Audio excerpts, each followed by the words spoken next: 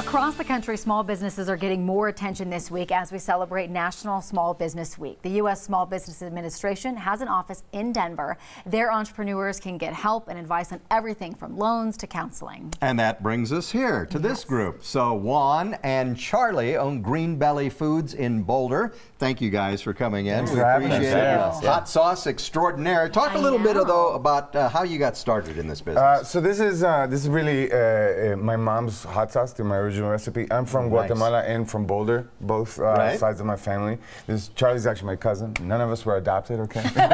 um, but uh, yeah, so this is this is I grew up with this. It's cilantro, garlic, and habanero. Oh, in Guatemala, we would use a different pepper. It's called chiltepe. It's it's amazing, but you can't find it here. And I moved here about now it's almost 20 years. And so I would always make it and share it with uh, family and friends, and everybody was like, "Hey, you should try to sell it." And we tried one year, and it and it just we couldn't Took keep off, up. huh? Yeah. Yeah. So since then, it just expanded to Red Belly has a, a pepper that we're importing from Guatemala. Uh, it's called Chile Cobanero. I wasn't able to bring a sample, but we have them at the farmers market for people Oh, to see. cool. It's a uh, a small, wrinkly, dark pepper that's.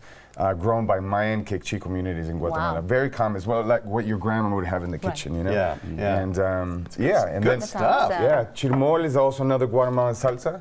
Um, and it's all, yeah, part of what I grew up with. Very? Yeah. inspiring. So- You know, we always talk about small businesses and the challenges of, of setting up a small business. Why was it worth it for you guys to go through all of that to do this? Because it's good. Because it, it, like honestly, if you have something good, it, it'll be successful. Pretty mm-hmm. much, you know. That's that's what started with with Green Belly. It's it's.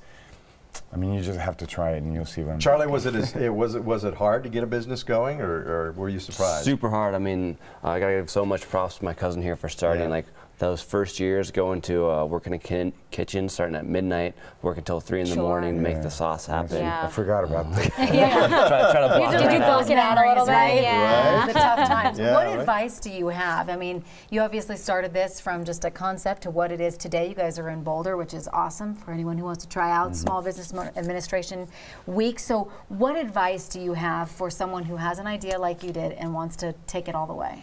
Yeah, you know, try it out with, with people. If you, if you feel like you actually you have something good that people will want, it's what you do with that. You know, that will that will push you forward. You know, so I knew this was good. You know, I just had to take it out. Be like, okay, how do how do I make the label? You know, do the cost and just take it out and try it. You know, and if it works, like for me, it was. Like I couldn't make it fast enough. Yeah, it Yeah. was like Sure. we're making it every week by hand the first two years, and and uh, yeah, You now had the passion. You had the passion. I can I had tell. I had uh, the good recipes. Yeah, sure. You got that, too. So, real quick, if uh, somebody wants to try out your, your sauce or your salsas, uh, where do they find you? Uh, farmers markets, right? That's Yeah. that's really where we Very push cool. a lot, but we're also at natural grocers, Lucky's markets, um, and online at, Okay. our, at our, our website. Yeah, greenbellyfoods.com. Greenbellyfoods.com. Hey, thanks, guys. Yeah, thank you. Enjoy. good. Yeah, it looks Lovely. wonderful. We appreciate We're it. gonna taste